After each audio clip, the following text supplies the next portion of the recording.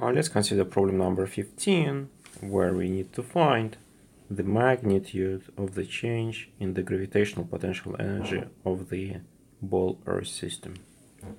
So the ball in the initial position uh, was over here, and then in the final position it went down. So this is my y initial, and this is y final. So this distance. Okay, what we need to find, uh, we need to find the change of the potential energy. And as we know, it is given by the potential energy of the gravity. And as we know, it is given by the mass of that, well, ball in this case, times the times g, times gravity constant, times delta y. So and delta y is given by y final minus. Um, so delta delta y uh, it, it will be the change of the y final minus y initial, right? So delta y is y final minus y initial. Okay, so uh, let me uh, find out delta y. So to find delta y, we'll first consider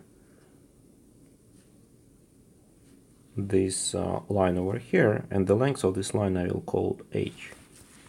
Okay, so delta y is simply minus h. Okay, so but let me find h.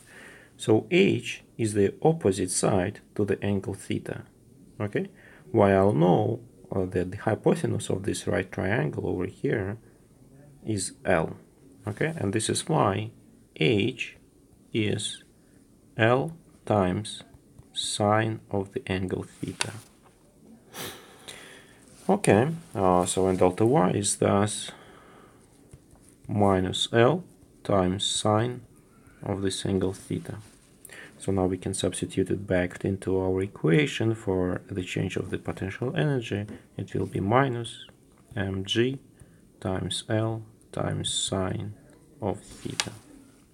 Okay, now we can substitute the numbers.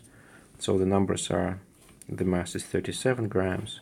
So it is minus 37 times 10 to the negative 3 kilograms uh, the gravity constant is 9.8 meters per second square.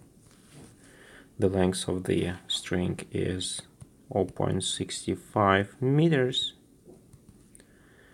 And it is all multiplied by the sine of 39 degrees.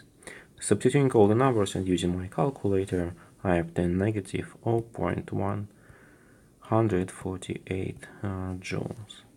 Okay, so what we need to find is actually only the magnitude of this change. So we can just discard the sign and this will be our final answer.